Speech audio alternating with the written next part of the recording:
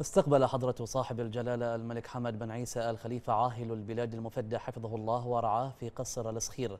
المشاركين والمساهمين في فعاليات هذه هي البحرين التي أقيمت في مدينة لوس أنجلوس بالولايات المتحدة الأمريكية بإطلاق إعلان مملكة البحرين وتدشين مركز الملك حمد العالمي للحوار بين الأديان والتعايش السلمي تحت رعاية كريمة من جلالة الملك وبمشاركة مختلف الجهات الحكومية والمؤسسات الدينية والجمعيات الأهلية.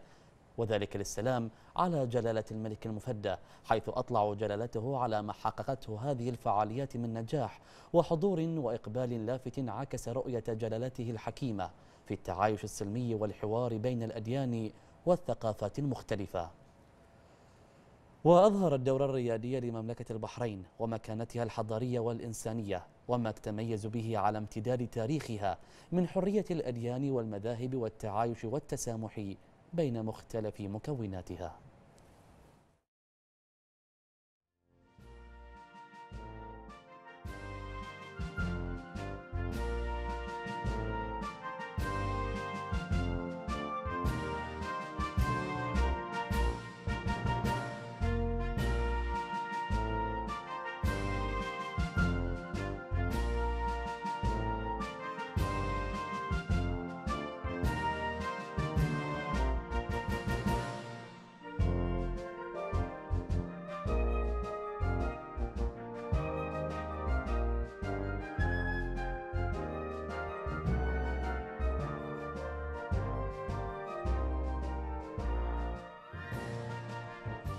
بسم الله الرحمن الرحيم. سيدي صاحب الجلالة الملك حمد بن عيسى الخليفة ملك البلاد المفدى. أصحاب السمو والمعالي والسعادة ضيوفنا الكرام. السلام عليكم ورحمة الله وبركاته.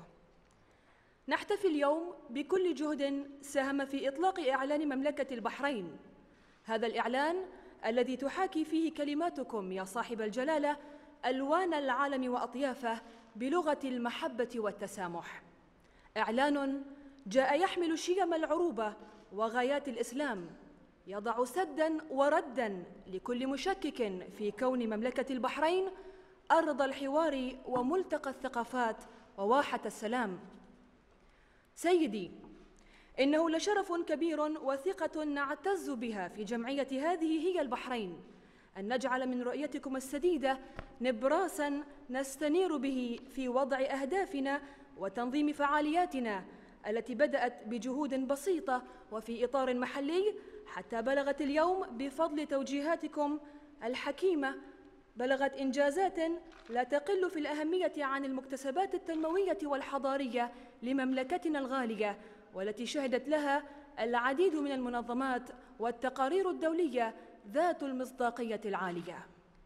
يا صاحب الجلالة لقد تجلت نظرتكم الثاقبة في استشراف المستقبل الزاهر لأبناء الوطن والمنطقة حين جعلتم التعايش والتسامح منهجا وفكرا وخصصتم كرسيا أكاديميا لدراسة هذه العلوم في إحدى أعرق الجامعات الأوروبية في روما. وأصدرتم أمركم السامي بتدشين مركز الملك حمد العالمي للحوار بين الأديان والتعايش السلمي وذلك على أرض مملكة البحرين. وستستمر جهود المخلصين من أبنائكم نحو المزيد لتحقيق توقعات جلالتكم في أن تكون مملكة البحرين في مصاف الدول المتقدمة في العالم على جغرافيا الفكر والإنجاز. سائلين الله العلي القدير أن يحفظ جلالتكم قائدا وبانيا وراعيا لمسيرتنا الوطنية ولأهدافها الطموحة نحو المستقبل المشرق بإذن الله. ولا يفوتنا في هذا المقام أن نتقدم بخالص الشكر وعميق الامتنان والتقدير لكل الجهات الإعلامية التي لم تتوانى في تغطية فعالية إطلاق إعلان مملكة البحرين بلوس أنجلوس. فبذلت كل الجهد وقدمت جميل التعاون والتنسيق في نقل الحدث عبر قنواتهم الموقرة. فلهم جزيل الشكر. سيدي يا صاحب الجلالة هذه هي البحرين لكلها للبحرين. فليتفضل سيدي صاحب الجلالة الملك حمد بن عيسى الخليفة بإلقاء كلمته السامية. بسم الله الرحمن الرحيم. الحمد لله والصلاة والسلام على رسول الله سيدنا محمد وعلى آله وصحبه أجمعين. السلام عليكم ورحمة الله وبركاته. يسعدنا اللقاء بكم بعد المشاركة المتميزة والنتائج الطيبة التي حققتها فعالية هذه هي البحرين. خلال زيارتكم الأخيرة للولايات المتحدة الأمريكية. والمتمثلة في الإعلان عن تدشين مركز عالمي يحمل اسمنا للحوار بين الأديان والتعايش السلمي يقام بمملكة البحرين في الغريب العاجل بإذن الله. وكذلك إطلاق إعلان مملكة البحرين كوثيقة عالمية لتعزيز الحرية الدينية. شاكرين بهذه المناسبة. الابن العزيز سمو الشيخ ناصر بن حمد آل خليفة كممثل لنا في هذه الفعالية. على طرحه القيم ومشاركته اللافتة التي ساهمت في توضيح موقف بلاده الراسخ تجاه حماية الحريات الدينية. واحترام التعددية بتنوعها الفكري والثقافي والديني كوسيلة مثلى للحفاظ على خصوصية ومكانة مملكة البحرين كموطن للمحبة والسلام. معربين للجميع عن اعتزازنا بتوجهات وأهداف هذا المشروع العالمي بما يحمله من رسائل نبيلة تعتبر التسامح والتقارب الديني قيمة حضارية مثلى لتحصين المجتمعات والحفاظ على مدنيتها وتحضرها.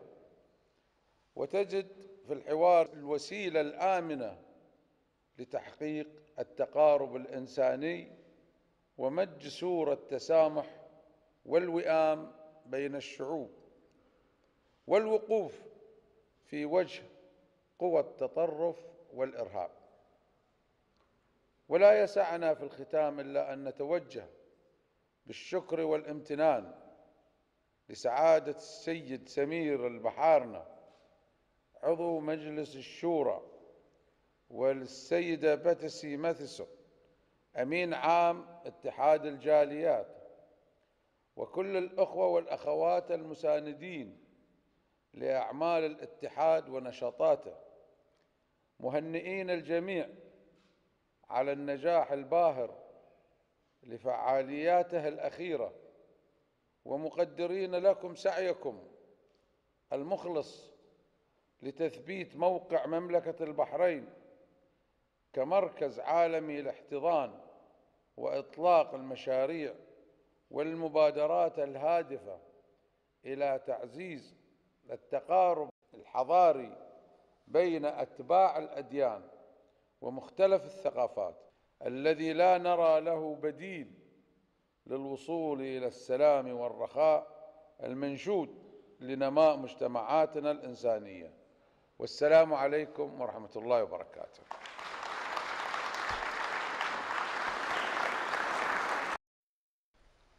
الكلمة للسيدة بيتسي ماثيسون الأمين العام لاتحاد الجاليات الأجنبية في مملكة البحرين Your Majesty, Your Highnesses, Your Excellencies, ladies and gentlemen, it is indeed an honor and privilege for our This is Bahrain delegates and sponsors to be received here today by Your Majesty. Your Majesty, we have recently returned from the international launch of the Kingdom of Bahrain Declaration and the King Hamad Global Center for Peaceful Coexistence, which was held in Los Angeles, California. As we gather here today, Your Majesty, we are very proud and happy to note the publication of Your Majesty's very beautiful and powerful article in today's Washington Times. Your Majesty, I must begin by congratulating Your Majesty on the realization of Your Majesty's vision to share with the world the Kingdom of Bahrain's centuries old model of religious freedom and peaceful coexistence through the launch of three unique world firsts, namely the Kingdom of Bahrain Declaration, the King Hamad Global Center for Peaceful Coexistence, and the King Hamad Chair in Interfaith Dialogue and Peaceful Coexistence at Sapienza University in Rome. The Kingdom of Bahrain Declaration, which echoes Your Majesty's words and beliefs, has been widely acclaimed by all who have read it as a global game changer in the fight against terrorism and has resulted in well deserved recognition for Your Majesty's many achievements, reforms, and aspirations. Your Majesty, the Kingdom of Bahrain Declaration, in conjunction with the King Hamad Global Centre and the King Hamad Chair, are precious gifts not just for Bahrain, but for all of humanity, to be treasured not just for today, but for our future generations to come. Your Majesty, you are a shining example to us all that what, that what can be dreamed can be achieved. I would like to take this opportunity to thank His Royal Highness the Prime Minister, Prince Khalifa bin Salman Al Khalifa, for His Royal Highness's kind and encouraging support for This is Bahrain. Your Majesty, His Royal Highness, the Crown Prince and First Deputy Prime Minister, His Royal Highness Prince Salman bin Hamad Al Khalifa, has personally been the strongest supporter of the Kingdom of Bahrain Declaration, the King Hamad Global Centre, and the King Hamad Chair. And His Royal Highness has afforded us every assistance in our humble endeavours, and we offer our deepest gratitude to His Royal Highness. I would like to say thank you also to His Highness Sheikh Nasser bin Hamad Al Khalifa, whose support has been with us from the beginning. And we were proud and honored by His Royal Highness' presence at This is Bahrain in Rome for the official launch of the King Hamad Chair, and as Your Majesty's personal representative in Los Angeles for the international launch of the Kingdom of Bahrain Declaration and the King Hamad Global Center for Peaceful Coexistence. Your Majesty, His Highness, won so many hearts. Your Majesty, we are most grateful for the active participation of several of Your Majesty's ministers that enabled us to showcase the incredible benefits provided to Bahrainis and expatriates alike here in the Kingdom of Bahrain. Rabbi Marvin Heyer and the Simon Wiesenthal Center are to be thanked and congratulated for their valuable support and assistance in Los Angeles. Their contribution to the success of the event was truly excellent. I also express my gratitude to the Reverend Johnny Moore for his excellent support and contribution towards the development of the Kingdom of Bahrain Declaration. Thank you also to His Excellency Sheikh Abdullah bin Rashid Al Khalifa, the Kingdom of Bahrain's ambassador to Washington, and his embassy staff, who have been very supportive. I would like to take this opportunity to thank His Excellency Mr. Badr Nasser Al Kharafi, Vice Chairman and Chief Executive Officer of Zain Group Kuwait, for his outstanding support for the Kingdom of Bahrain Declaration in Los Angeles. Your Majesty has always impressed upon us the importance of the one family spirit in Bahrain, and our This is Bahrain organizing team are deserving of a very special mention. Your Majesty, our This is Bahrain team are a family, a family of Bahrainis and expatriates from Manama, Maharek, Rafah, and Sitra. And as such, they are a true reflection of This is Bahrain. Our organizing team are volunteers from very different backgrounds and faiths, but we are united in our goals and in our love for our king and country and our passion to share with the world the humble Bahraini way of life.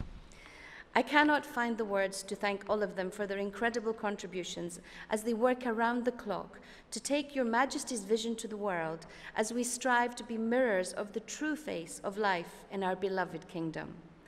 The This is Bahrain organizing team and our family of dedicated delegates are true ambassadors, and I thank each and every one of them from the bottom of my heart.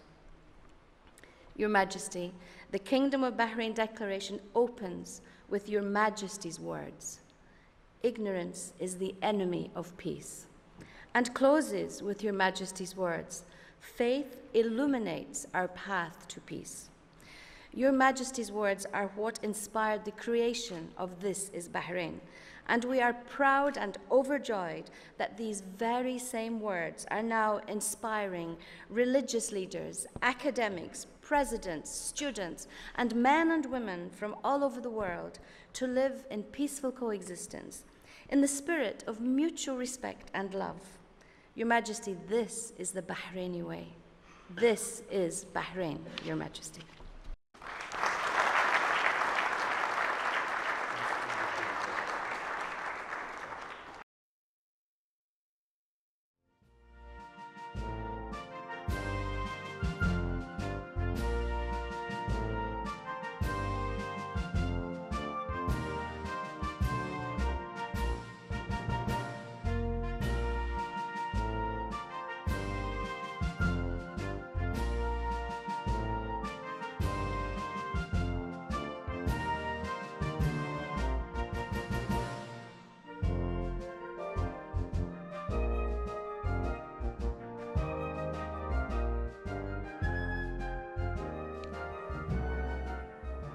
ثم تشرف الجميع بالسلام على جلالة الملك المفدى أيده الله.